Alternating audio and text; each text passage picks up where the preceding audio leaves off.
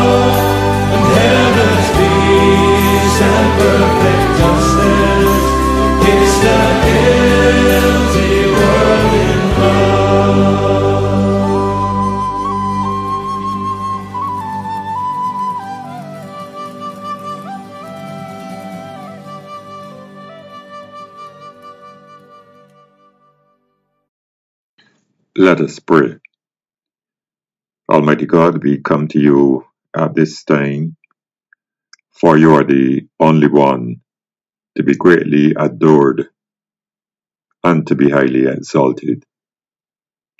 You are the only one to be worshipped and glorified. For you are our Creator, our Provider, and our Sustainer. With every new day, we see and experience your love and your mercy in our lives. That is why we can praise and bless you for who you are the God of truth, the God of love, and the God of our salvation. At this time, as we join together in this time of worship, we know that despite distance which separates our lands, as well as different time zones, that you are with us. So, dear God, we ask that through the power of your Holy Spirit, you would speak to us and minister to us by your word, so that we may be closer drawn to you. May we, by your saving grace, experience the transforming power of your Son, Jesus Christ, our Lord, as we meditate on your word. So we place ourselves and this time of devotions into your hands. Pour upon us your sacred anointing and bless us as we worship you. These things we pray through Jesus Christ, our Lord and Savior. Amen.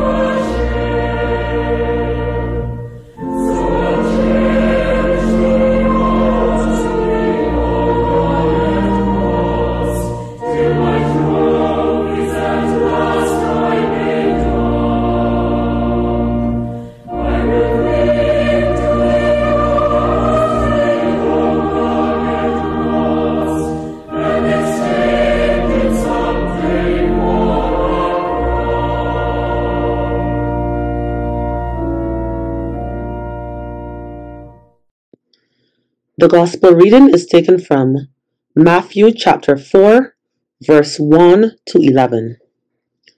Then Jesus was led up by the Spirit into the wilderness to be tempted by the devil. He fasted forty days and forty nights, and afterwards he was famished.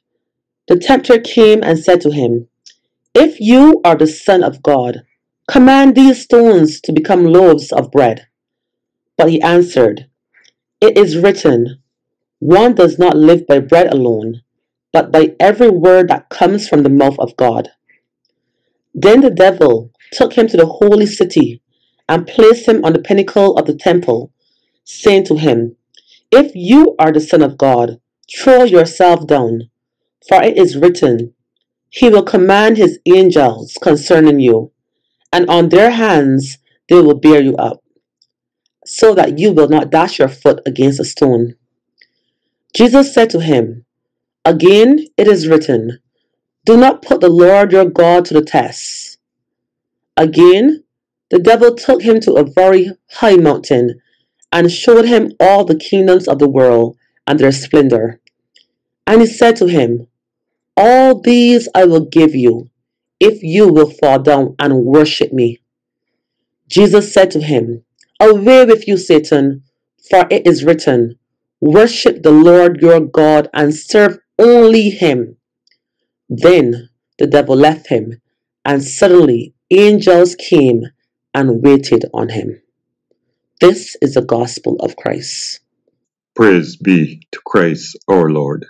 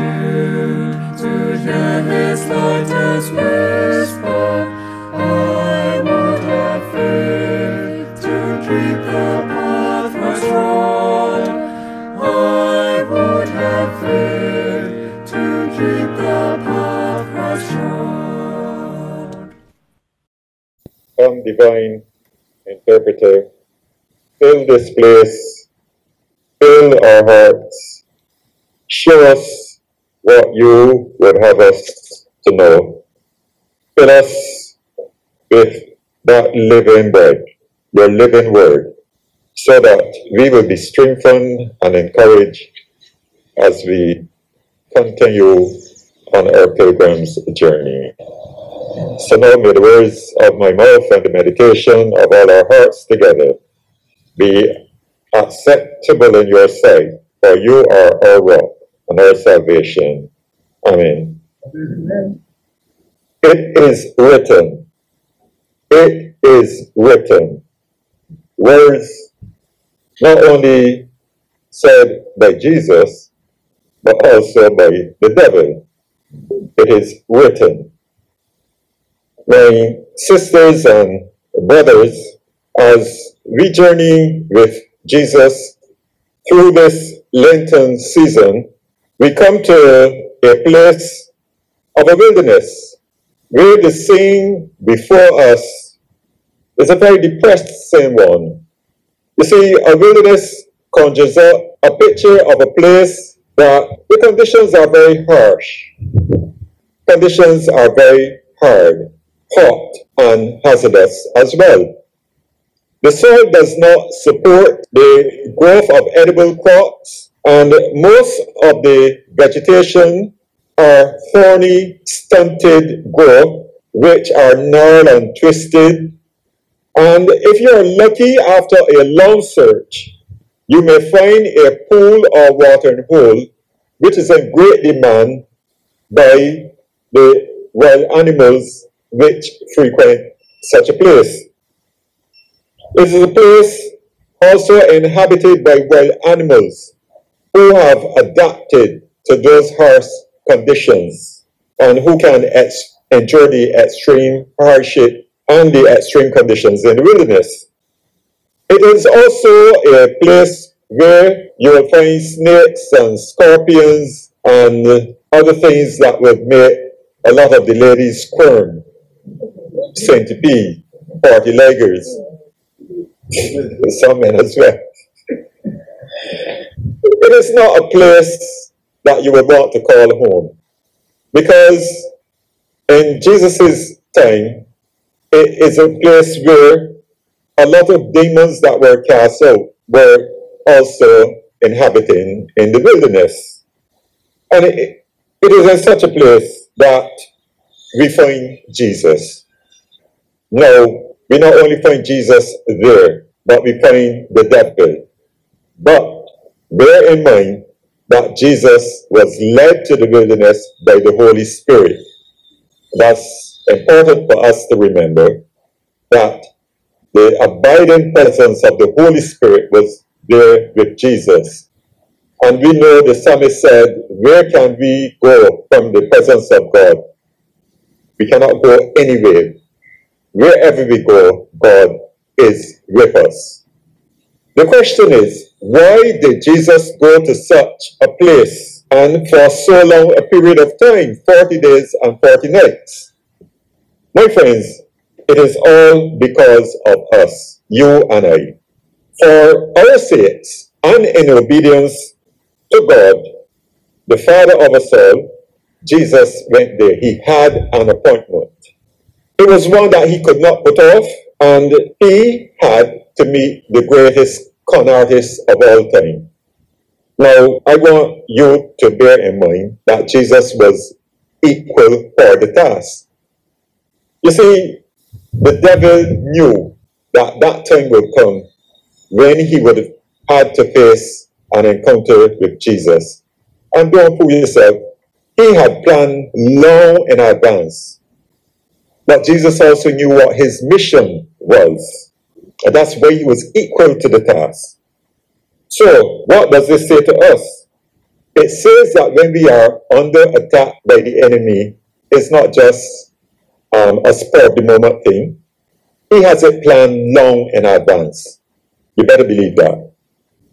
He waits for an opportune time when we are in distress or when something is happening in a moment of weakness, and then he puts his plan into operation. Now, most of the time, he also starts in a very small way to see how he can get us, you know. You work in an office, temptation comes, there's lots of stuff around. You take up a little paper clip here, a little pen, pencil there, and it continues. Then you got toilet paper and other things. You get a promotion. Next thing your hand is in the um, the, the till, petty cash. Let's say you get a further promotion and it's in the company's funds and then you're caught. So from one little thing, it goes on until it gets bigger and bigger. So the devil starts with little things to see how he can get you. Sometimes he also starts with his ends. You just put something down there, there's no one else in the house. Where can it be? And you're frustrated, and the imps are laughing. I'm saying this to let you know that he started the temptation with what he thought would be a simple thing to taunt Jesus. Turn these stones into bread. That shouldn't be anything difficult for Jesus to do.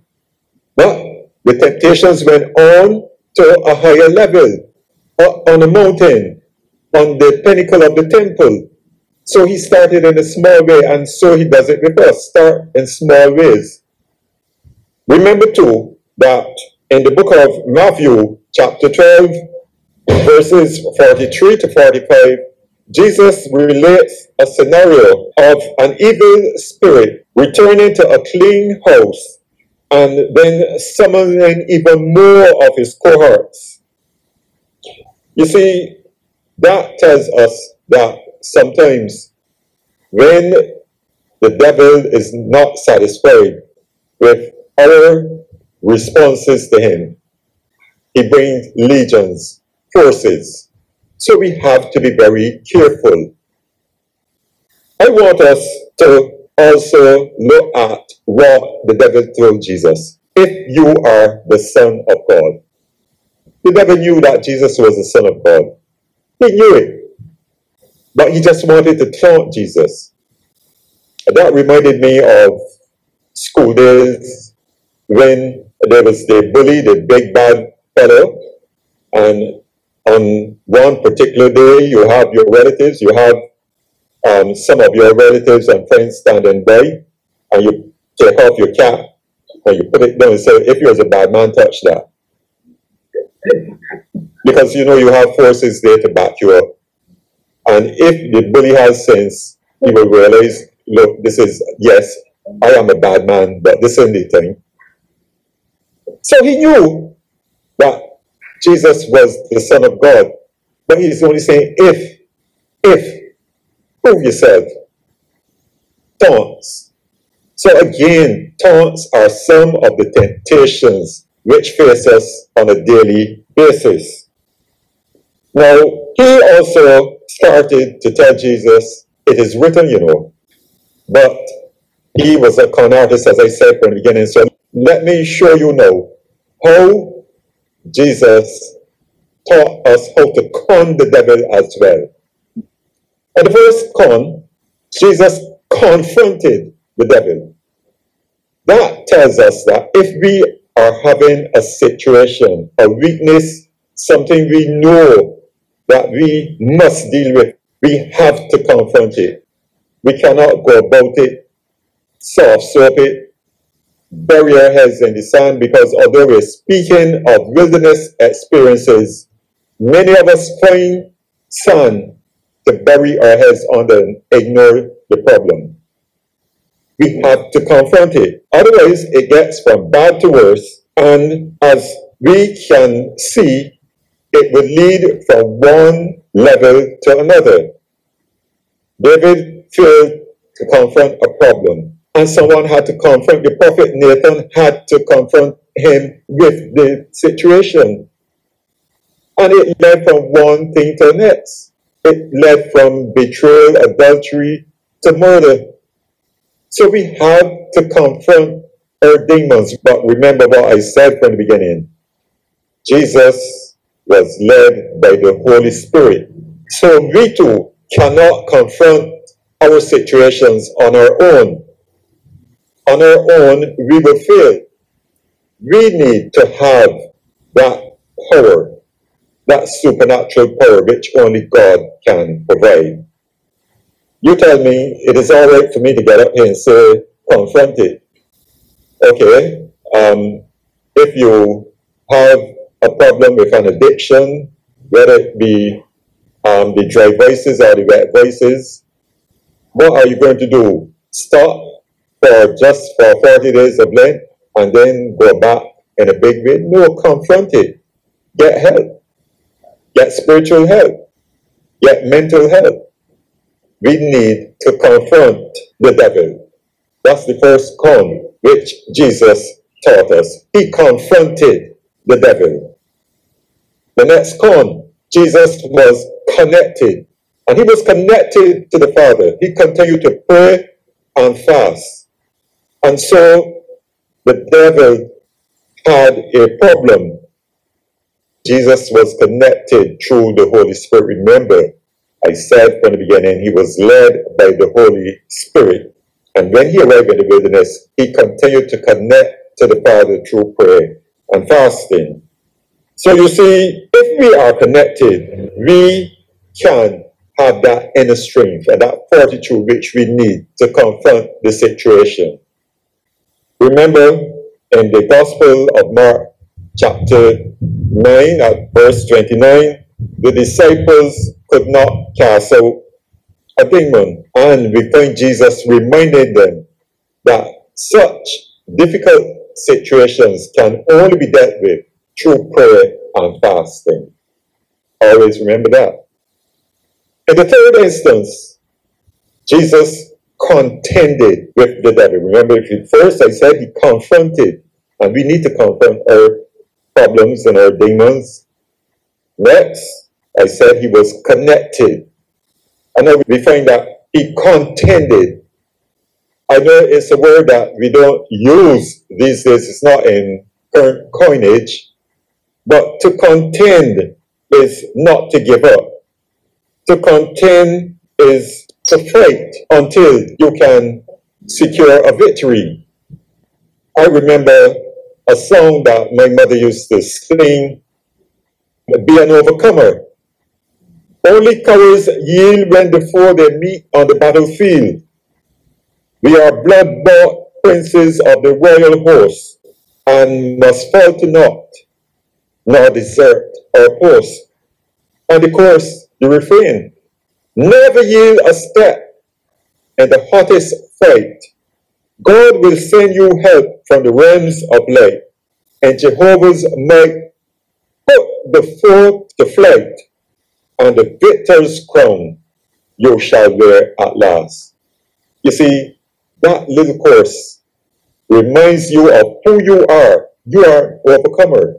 You are bought by the royal host, by the blood, your blood bought, and you are a conqueror. And it is not in your own strength or your might. So when you have to contend, when you have to struggle, always remember that you're not alone and that you have help. If you don't have help, ask for help. The reason I said so, I remember a story of a little fellow who was assisting his father, who was a farmer, and he was trying to get a large tree stump out of the ground. And the little guy was chopping away, he was pushing, he was drilling, he was doing everything and he was sweating. And his father kept looking at him. And at last, in frustration, he threw down his tools. And his father asked him, Hey, what's, what's happening? He said, I, I can't get it moved. And the father said, Have you, what have you tried? He said, I've tried everything. And the father told him, No, you have not tried everything. You have not yet asked for help. Let this be a lesson to us. We think that we have tried everything, but sometimes we have not asked for help. Now, we see that the devil increased the pressure with each temptation. Remember, I said earlier that sometimes he starts small and then he continues to apply more pressure. It was now big time, crucial time. So he applied more pressure. He took him up on the pinnacle of the temple. Sisters and brothers, I want us to realize something from this lesson. The devil can sometimes find himself in places of worship. Look where he took Jesus, way up on the pinnacle of the temple. And not only he took him up there, but all the time, Jesus was saying to him, It is written. But this time, on the precincts of the temple, the devil now tells Jesus, It is written, throw yourself down, because it is written, He will send his angels to hold you up, lest you dash your foot again. So the devil in on the temple, in the grounds of the temple, on the precincts, and quoting scripture too. We have to be careful. You see where he's gone? Right at the temple. But on that occasion, rather than say, it is written, Jesus said, it is said. Twice before Jesus said, it is written. On that occasion, Jesus said, it is said, you shall not tempt. So, Jesus, as I said, contended right into the last. And that is why we have to be careful, as I said, because the devil disguises himself in many ways. From the beginning, he's a con artist. In the fourth instance, Jesus was able to conquer. By doing so, he has taught us that we too can conquer. That old con is still around us today. And the weapons used by Jesus to combat the devil are still available to us today. The God we serve is still the same. Now, in the preceding expositions, I have already given you the weapons used by Jesus and the sources from which he drew his strength. He drew his strength from the Word, he drew his strength from praying and from fasting. It is written. Finally, Jesus was able to confound the devil with all of his responses. That's why he said Jesus taught us how to con the devil. He was able to confound him. The devil could not understand why Jesus would want to refuse offers of the whole world, want to refuse offers of fame, want to refuse offers of power, because that's what the devil, these are weaknesses that we fall for, you know. Um, offers a title, offers a position, offers some money, and we go for it, go up hands. Who wouldn't want fame? Who wouldn't want fortune? Who wouldn't want power? But Jesus was able to confound the devil by refusing to take the bait. You see, Jesus knew that the Father was dependent on him. We were dependent on him. The whole world was dependent on him. So why would he take the bait just for the moment? Also, Jesus knew that he had to be true to himself. He could not be otherwise. How could he turn stones into bread just to please the devil and respond to his taunt? When later in his ministry, he would tell people, I am the bread of life. So how could he turn stones into bread? How could he join forces with the force of darkness when later in his ministry he could say, I am the light of the world? How could he join with the one who brought sin and suffering into the world when later Jesus could declare, I am the resurrection and I am the life? How could he set the captives free as he declared at the beginning of his ministry if he was hand and glove with the enemy? In fact, remember at one point in Jesus' ministry, the authorities couldn't understand. They too were confounded and they said he has to be doing these things through the power of Beelzebub. And Jesus had to respond to them a house divided against itself cannot stand. My friends, these are serious considerations for us as we go through this Lenten period. We too have to learn to con the devil, confront him, connect with God, contend with him, and we can be conquerors. Let us also learn to use some of the strategy and some of the words that Jesus used in situations um, with which we are confronted. It is written. It is written. You cannot serve two masters at one time. It is written. If you want to be my disciple, you must deny yourselves and follow me. Take up your cross and follow me. It is written. No one who puts his hands to the plow and turn back is worthy of the kingdom of God. It is written. Who acknowledges me before others, I will acknowledge him before the Father. It is also written, most importantly, there is salvation in no one else, for there is no other name under heaven given among mortals by which we can be saved. And you may have some of your favorite verses. I'm sure if I ask each of you to say what helps give you strength, the one particular verse when you say it is written, you will be able to say at least a verse which helps you. So don't rely on your own strength. Contend and you shall be conquerors. My sisters and brothers, amidst the gloom of the story of the wilderness and eventually death on the cross, there is joyful news for all of us.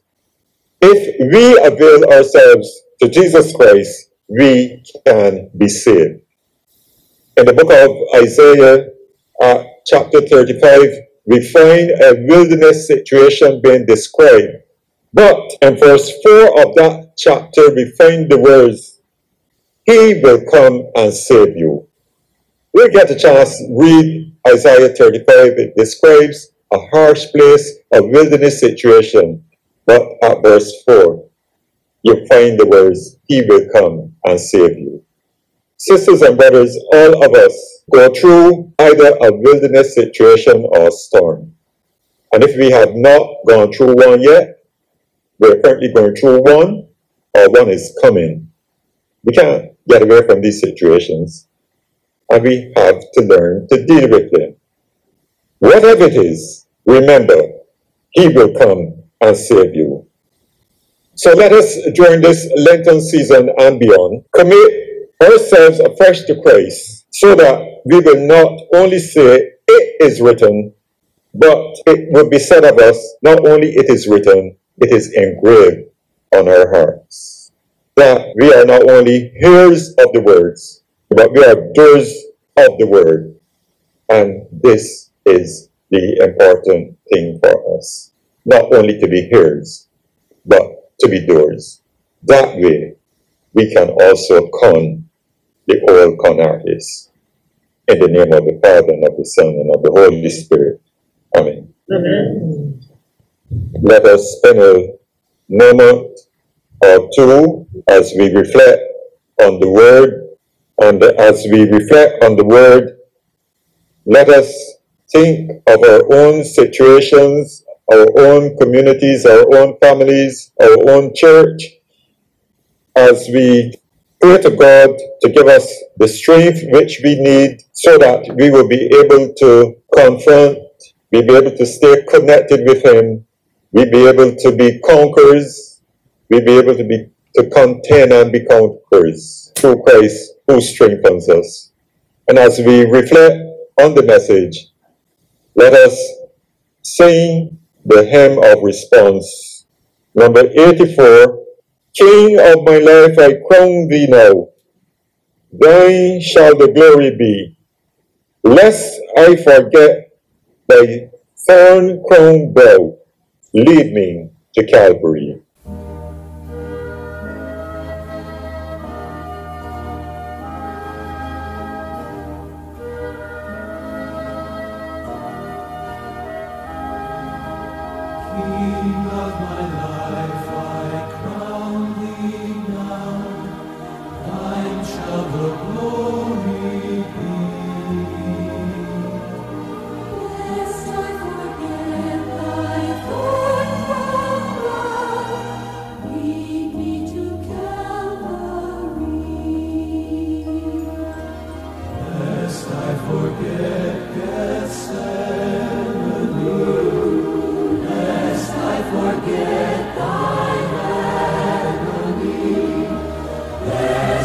The